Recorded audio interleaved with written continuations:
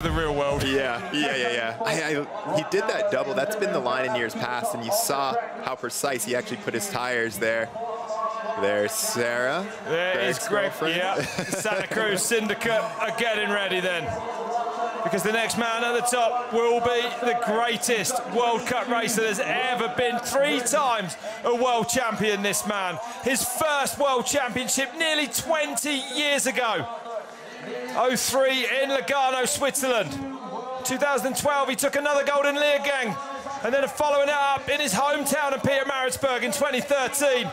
Greg Minnaar knows he can win this today. Yeah. And that's dangerous. Yeah, everyone I've talked to, everyone I've seen just was raving about how fast Greg was going on track. Made a ton of ton of changes to the bike.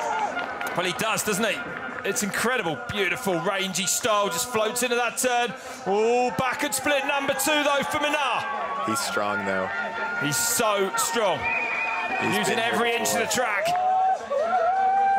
Talk about a rider who knows what the pressure feels like. Yeah, and keeps coming back for more. Loves the abuse. Manuals through there. Never won here in Val di Has been second a couple of times, though. But carrying good pace, you can see it. And back now within half a second then of Coulanges.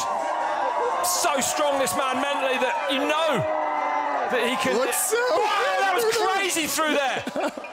so now accelerating, it looks like Minnaar. It's a Leka run, bro. Leka run. You almost get the feeling he knows, you know, he can sense how quick he's been. And if he needs to make up time, he might well do it. The next split's going to tell us. Point four to find. Between splits three and four is Minnaar going to be red. He's going to be green. He's back by point three seven then. So pulling some more time back. He is quicker from split two down. This is where it all comes down. There's plenty of space to make up point three. He's so strong in the pedals, he could make that up just on that last turn alone. Sends it massive the gas here as he comes down to the line. Is it going to be enough for Minnaar to take the lead here? Can see the red. It's going to be close. Minnaar goes fastest by point two two. Oh my goodness! Minnaar leads in Val. What is and the this guy? crowd love that. What is he up to? How is he still doing this? How on earth did he do that? He pulled time back all the way down from split two Minnaar. And now South Africa and the GOAT are in the gold medal position. What a race we're seeing. Oh man, my heart is beating. Oh my goodness. The winner here this afternoon will be a South African or it will be a Frenchman because there are three of them now left at the top of this mountain. That was unbelievable. Oh, Minnaar good. does not disappoint, does he?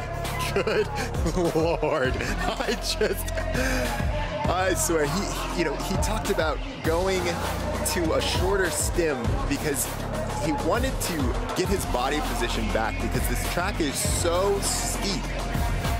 That's what he was telling me, actually, Elliot. With the, he said when he changed the suspension, he then needed to change the cockpit. So, I mean, he's into every single facet of bike Yeah. setup.